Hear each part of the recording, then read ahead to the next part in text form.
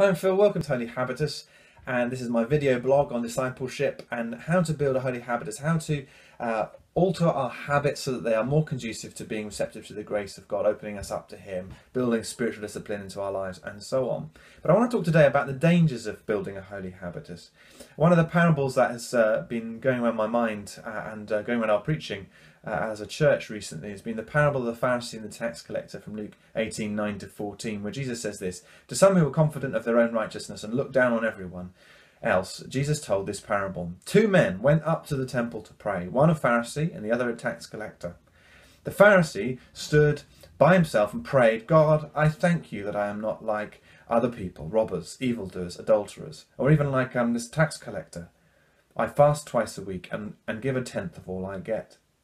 But the tax collector stood at a distance. He would not even look up to heaven, but beat his breast and said, God have mercy on me, a sinner. I tell you that this man, rather than the other, went home justified before God. For all those who exalt themselves will be humbled, and those who humble themselves will be exalted. It's a, I find a very challenging parable because I think I often end up in the, the, the territory of the Pharisee.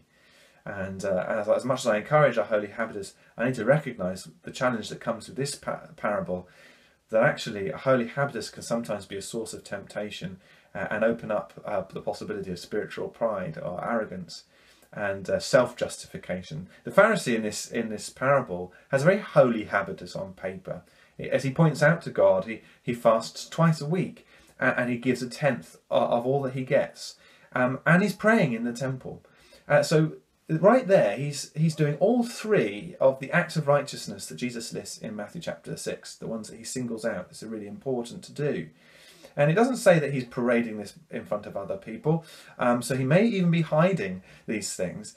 But somewhere in his heart, and it comes out through his prayer, he's come to believe that his righteousness is, is something that he can build his life on. There's, he's come to become proud of, of himself in that and without realizing it perhaps has started to justify himself rather than leaning on the justifying work of god and it's a tax collector who recognizes that he, he's not at all justified by his acts because he hasn't done any uh, and leans on the mercy of god he's the one whom god justifies and uh, so this is a very challenging message uh, i find it very challenging um, and we need to be very aware and tuned in to the danger of how our acts of righteousness, our holy habitus, can actually be a, become, can be flipped round and become um, a, source of temptation to spiritual pride. It can be a backdoor through which the devil um, tempts us into the realms of self-justification and self-just, uh, uh, self-righteousness.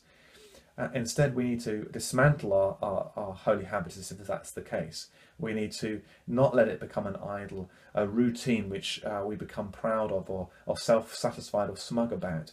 We need to not pray, Thank you, God, that you've not made me like other people, but thank you, God, that you have made me like all other people. Keep me humble.